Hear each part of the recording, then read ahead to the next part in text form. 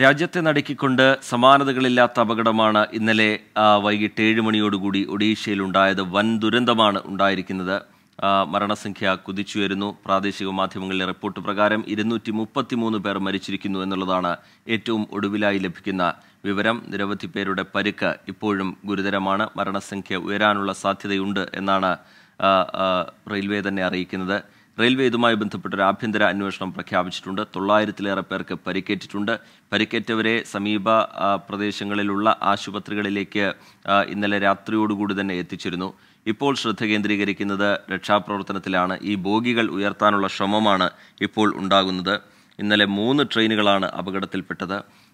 രക്ഷാപ്രവർത്തനം പുരോഗമിച്ചുകൊണ്ടിരിക്കുന്നു വിവിധയിടങ്ങളിൽ കൺട്രോൾ റൂമുകൾ തുറക്കുന്നു. സ്ഥിതിഗതികൾ വിലയിരുത്തുന്നു ഒഡീഷ സർക്കാർ. അവരുടെ എല്ലാ സംവിധാനങ്ങളും ഉപയോഗിച്ചുകൊണ്ട് രക്ഷാപ്രവർത്തനങ്ങൾ മുന്നോട്ട് പോവുകയാണ്.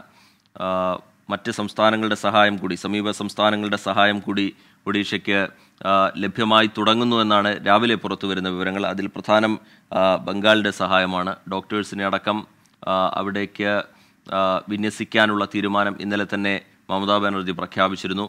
ഇപ്പോൾ ആ സഹായം ലഭ്യമായി തുടങ്ങുന്നു എന്നാണ് മനസ്സിലാവുന്നത്. ഇന്നലെ രാത്രി തന്നെ അതിന്റെ സംഘം പുറപ്പെട്ടിട്ടുള്ളതാണ്. ഇപ്പോൾ ഇനിയും ഒരു ഒന്ന് രണ്ട് മണിക്കൂർ കൂടി ഈ രക്ഷാപ്രവർത്തനത്തിന്റെ പ്രധാന ഘട്ടം എന്ന് വിലയിരുത്തപ്പെടുന്നുണ്ട്. മനീഷ് മൂർത്തി ഏറ്റവും പുതിയ വിവരങ്ങളുമായി ചെന്നൈയിൽ നിന്ന് ചേരുകയാണ്. മനീഷ് അവിടെ നിന്ന് പങ്കുവയ്ക്കാൻ കഴിയുന്ന പുതിയ വിവരങ്ങൾ എങ്ങനെയാണ് മനീഷ്?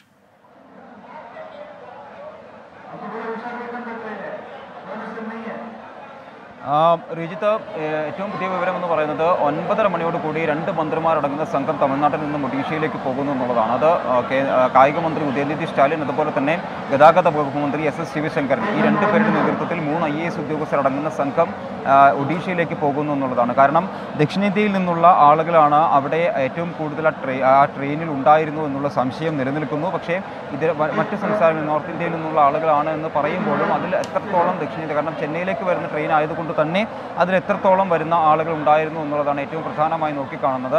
അത്തരം വിവരങ്ങൾ ശേഖരിക്കേണ്ടതുണ്ട്. അതിന് ഉദ്യോഗസ്ഥരെന്ന മൂന്ന് ഉദ്യോ ഐ എസ് ഉദ്യോഗസ്ഥർ ഉൾപ്പെടുന്ന ഒരു സംഘം എന്തായാലും അവിടേക്ക് പോകുന്നു. രണ്ട് മന്ത്രിമാരുടെ നേതൃത്വത്തിൽ ഉദയനിധി സ്റ്റാലിന്റെയും അതുപോലെ തന്നെ എസ് എസ് ശിവശങ്കറിന്റെയും നേതൃത്വത്തിലുള്ള സംഘം അവിടേക്ക് പോകുന്നു. ഒൻപതരയുടെ വിമാനത്തിലാണ് അവർ പോവുക.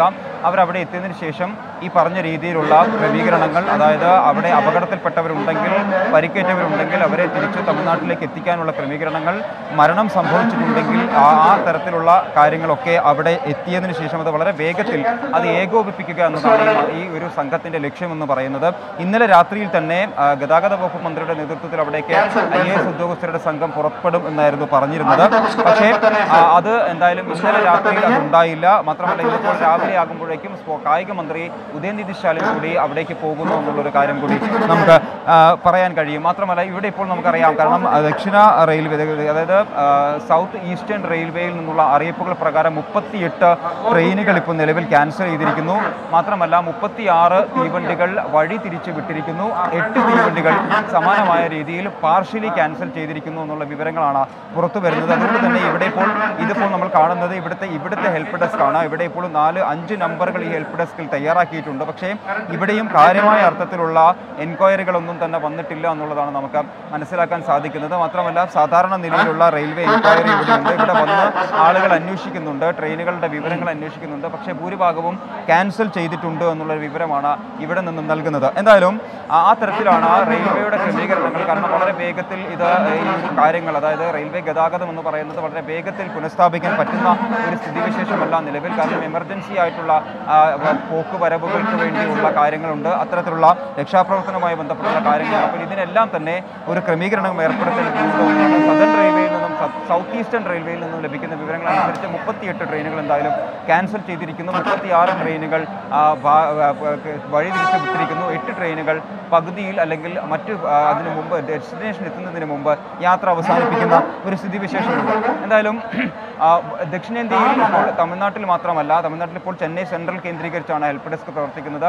ആന്ധ്രാപ്രദേശിൽ സെൻട്രൽ റെയിൽവേയുടെ ഹെഡ്ക്വാർട്ടർ ഉൾപ്പെടെയുള്ള ആറിടങ്ങളിൽ ഈ പറഞ്ഞ രീതിയിൽ ഹെൽപ്പ് ഡെസ്കുകൾ പ്രവർത്തിക്കുന്നുണ്ട്. ബംഗളൂരുവിൽ കർണാടകയിൽ ബംഗളൂരുവിൽ ഹെൽപ്പ് ഡെസ്ക് പ്രവർത്തിക്കുന്നുണ്ട്. കാരണം എവിടേക്കെങ്കിലും എവിടേക്കൊക്കെയാണ് ആളുകൾ ഈ തീവണ്ടിയിൽ വന്നിട്ടുള്ളത് എന്നത് സംബന്ധിച്ച് കൃത്യമായ വിവരം നൽകാൻ ഇപ്പോഴും പറ്റുന്നില്ല. രണ്ട് ജനറൽ കമ്പാർട്ട്മെന്റുകൾ പൂർണമായും തന്നെ തകർന്നിട്ടുണ്ട് എന്നുള്ളതാണ് അവിടെ നിന്നും രക്ഷാപ്രവർത്തനത്തിനൊക്കെ നേതൃത്വം നൽകിയ ആളുകൾ പറയുന്ന വിവരം എന്ന് പറയുന്നത്. പ്രധാനപ്പെട്ട കാരണം കാരണം ആ അത്തരത്തിലാണ് ചെന്നൈയിൽ നിന്നുള്ള വിവരങ്ങൾ. ഇപ്പോൾ തമിഴ്നാട്ടിലെ രണ്ട് മന്ത്രിമാർ അപകട സ്ഥലത്തേക്ക് തിരിക്കാൻ പോവുകയാണ്. കായിക മന്ത്രി ഉദയനിധി സ്റ്റാലിൻ ഒപ്പം തന്നെ ഗതാഗത മന്ത്രിയും മൂന്ന് I A I A S ഉദ്യോഗസ്ഥരും ഈ രക്ഷാപ്രവർത്തനത്തെ ഏകോപിപ്പിക്കുന്നതിന്റെ ഭാഗമായി ഒഡീഷയിലേക്ക് പോകും എന്നുള്ളതാണ് ചെന്നൈയിൽ കൺട്രോൾ റൂം തുറന്നിട്ടുണ്ട്. അതേപോലെ തന്നെ കർണാടകയിൽ ബംഗളൂരുവിൽ കൺട്രോൾ റൂം തുറന്നിട്ടുണ്ട്. ഏതൊക്കെ മേഖലയിലുള്ള യാത്രക്കാരാണ് ഈ അപകടത്തിൽപ്പെട്ട രണ്ട് യാത്രാ ട്രെയിനുകളിലായി ഉണ്ടായിരുന്നത് എന്നുള്ള കാര്യം പരിശോധിച്ചു വരികയാണ്. ഗോവ മുംബൈ വന്ദേ ഭാരത് ട്രെയിനിന്റെ ഉദ്ഘാടനം റദ്ദാക്കിയിട്ടുണ്ട് എന്ന വിവരം കൂടി പുറത്തു വരികയാണ്.